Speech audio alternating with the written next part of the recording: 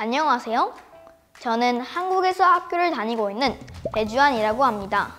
이 영상을 보고 있는 친구들은 한국에 있는 초등학교에 다니게 될 텐데요. 한국 초등학교에 다니는 것이 많이 어색하고 한편으로는 걱정도 될 거예요. 하지만 걱정하지 마세요. 제가 한국 학교에 대해 자세히 알려줄 테니까요. 그럼 지금부터 한국 학교 생활에 대해 같이 알아볼까요? 한국의 초등학교에는 1학년부터 6학년까지 있어요. 그래서 총 6년을 다녀요. 한 학년은 두 개의 학기로 구성됩니다. 1학기는 3월 1일부터 여름방학이 끝날 때까지 2학기는 1학기가 끝난 다음 날부터 다음해 2월 마지막 날까지입니다. 한국의 학교는 담임 선생님과 친구들이 매 학년마다 바뀌어요. 그래서 새로운 선생님과 친구들을 매년 만날 수 있답니다. 여러분은 학년과 반은 당연히 기억해야 하지만 한 가지 더 기억해 두어야 할 것이 있어요. 바로 번호예요. 번호는 생일이나 이름 순서로 여러분에게 부여된 숫자를 말합니다. 학교에 서류를 제출하거나 수업 시간에도 종종 번호를 사용하니 꼭 기억해 두어야 합니다. 지금 시각은 8시 50분입니다. 저는 지금 우리 학교 정문 앞에 나와 있는데요. 교실에는 9시까지 도착해야 해요. 늦지 않게 집에서 나와야겠죠? 그럼 교실로 가볼까요? 이곳이 바로 우리들이 공부하는 교실이에요. 교실 앞에는 담임 선생님이 사용하시는 책상이 있어요. 선생님 책상 뒤로는 공부할 내용을 보여주는 텔레비전과 칠판이 있습니다. 그리고 우리가 가장 많은 시간을 사용할 책상과 의자가 있습니다. 그 뒤편으로는 교과서나 개인 물건을 보관하는 사물함이 있습니다. 40분 동안 수업을 하고 10분 동안 쉽니다. 1학년 기준으로 월요일부터 금요일까지 하루에 4번 또는 5번 수업을 합니다. 그럼 우리가 배울 과목에는 무엇이 있는지 알아볼까요? 1, 2학년이 배우는 과목에는 국어, 수학, 봄, 여름, 가을, 겨울이 있습니다. 봄, 여름, 가을, 겨울은 노래 부르기, 그림 그리기, 운동하는 것을 계절과 연결해서 배웁니다. 3학년부터 6학년은 국어, 수학, 사회, 과학, 영어 등의 과목을 배웁니다. 쉬는 시간에는 다음 시간에 공부할 교과서를 준비하고 화장실을 미리 다녀오도록 합니다. 점심은 보통 4교시 후 교실이나 식당에서 선생님과 함께 먹습니다.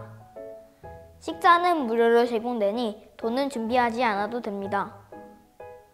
점심을 먹기 전에 미리 손을 씻고 질서를 지켜 음식을 받습니다. 한국 음식이 입에 맞지 않을 수도 있지만 건강을 위해 골고루 먹어야겠죠? 다 먹은 뒤에는 남은 음식을 한데 모아 버리고 정리해요. 이제 수업이 마무리되고 집에 돌아갈 시간이에요. 집에 돌아가는 시각은 학년과 요일에 따라 다릅니다. 빠르면 1시, 늦게 끝나는 경우에는 3시에 수업이 마무리됩니다. 수업이 마무리되었지만 저는 바로 집에 가지 않아요. 한국 학교에는 방과후 학교라는 것이 있습니다. 방과후 학교에서는 내가 원하는 수업을 골라 들을 수 있어요. 방과후 학교는 신청한 학생만 수강할 수 있고 수강료가 있어요. 방과후 학교 프로그램 중 대표적인 것은 컴퓨터 수업, 과학 실험, 미술, 로봇 만들기 등의 프로그램이 있어요. 돌봄 교실이라는 것도 있어요. 돌봄 교실은 바쁜 여러분의 부모님을 내시나요? 여러분을 돌봐주는 곳이에요. 지금까지 저와 함께 학교에서의 하루 생활을 살펴보았어요. 이제 대표적인 학교 행사에 대해서 알아볼까요? 첫 번째는 현장 체험 학습입니다. 현장 체험 학습은 학교에서 배우고 경험하기 어려운 내용을 학교 밖으로 나가 경험해 보는 것을 말해요. 주로 봄과 가을에 버스를 타고 먼 곳으로 이동하여 현장 체험 학습을 합니다. 학예 발표회는 학교에서 배운 노래, 무용, 악기 등을 발표하는 행사입니다. 또 그리기, 만들기, 그리고 글짓기 등의 작품을 전시하기도 합니다. 우리들이 정석권 준비한 솜씨와 재능을 부모님과 친구들에게 선보이는 행사입니다. 체육대회는 학교에서 배운 운동 기능과 다양한 활동들을 전교생이 함께 펼쳐보이는 날입니다. 달리기와 같은 개인 종목도 있고 줄다리기나 박터트리기 같은 단체 종목도 있습니다. 친구들이 함께 뛰놀며 즐기는 행사예요.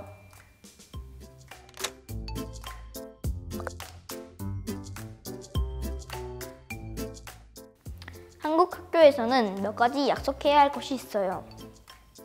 첫째, 준비물을 꼭 챙겨주세요. 한국 학교는 청결을 위해 학교에서는 실내화를 신습니다. 실내화와 실내화 주머니를 준비하세요. 그리고 교과서를 챙길 가방과 수업 시간에 사용할 필기 도구도 준비해야 합니다. 그 외에 학습 활동에 필요한 대부분의 준비물은 학교에서 지급합니다.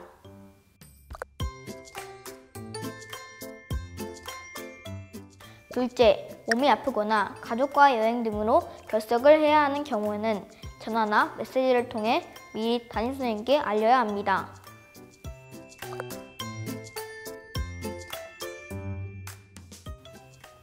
셋째, 알림장을 쓰고 가정통신문을 챙겨야 합니다. 알림장은 선생님께서 부모님께 꼭 알리고 싶은 내용을 공책에 옮겨두는 것을 말합니다. 가정통신문은 학교에서 부모님께 알려야 할 중요한 내용을 인쇄한 것입니다. 집에 돌아가면 알림장과 가정통신문을 부모님이 읽으실 수 있도록 미리 꺼내 두어야 합니다.